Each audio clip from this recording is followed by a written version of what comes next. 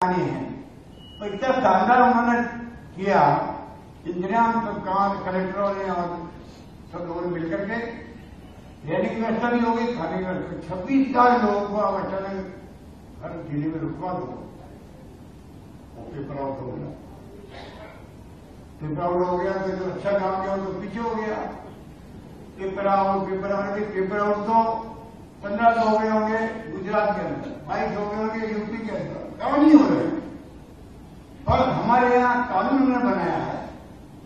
जो लोग हम भेज रहे लोगों को, दो सौ लोगों से भेजा हुआ हम लोगों ने। कहाँ भेजा, किस हिसाब भेजा है? अब विपक्ष की बात नहीं है किसी को पेपर आउट की बात करेंगे। और कहेंगे कि मुआवजा दो। घर छब्बीस लाख लोग बैठे हैं इनको मुआवजा भी दो।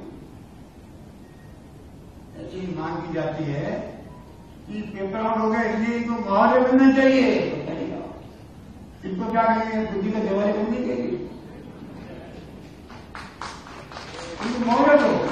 दुनिया के इतिहास में किसी ने मांग करी है क्या कि भाई पेपर आउट हो गया कहीं पर तो जो बच्चे पढ़े करे थे, एग्ज़ाम नहीं दे पाए हैं जिनको मुआवजा दो। ये चलती क्या बताइए, ऐसी मांगी की जाती। है ये सोच विपक्ष की है। समझते नहीं क्या करना है, क्या? अभी आप विपक्ष में हो, अभी विपक्ष में थे लोटाचार्य हमारे अध्यक्ष थे, समय टूरी थे हमारे। नेता प्रतिपक्ष सब लोग बोले थे बैठे थे। हम अपने इश्यू बनाए। इश्यू बनाए, संगत भी किया, सड़कों पर संगत किया, प्रदेश कांग्रेस कमेटी चाकावान में किया, अलग किया, कोई कमी नहीं रहती।